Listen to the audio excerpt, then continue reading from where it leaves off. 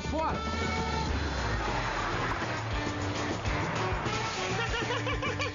Pronto. Vai afogar o motor, seu idiota.